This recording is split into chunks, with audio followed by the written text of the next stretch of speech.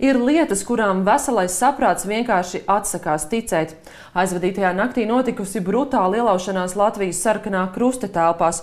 Apzogot biroju ir apzakti neskaitāmi bērni un vientuļi cilvēki, kuri šogad Ziemassvētkos pārsteiguma dāvaniņas nesagaidīs. Jo ļoti daudz arī ir, dažas lietas ir paņemtas, dažas ir atstātas. Nav tāda vienota schēma redzama.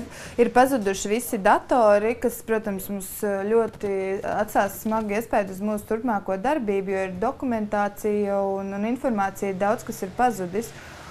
Protams, arī paša datora vērtība ir um, liela kopumā, apmēram 13 datori, gan portatīvie, gan, gan jā, parastie. Kas vēl ir pazudis? Izstāstiet pie reizes. Jā, ir pazudusi nauda, kas atradās ziedojuma urnās. Nauda no seifiem, kas ir grāmatvedībā, tā seifi nav atlausti, seifi ir vietā, bet jā, nauda no ziedojuma urnām, tad ir arī ir zīmogi, sarkanā krusta zīmogi, vizītkartes ir pazudušas kolēģiem.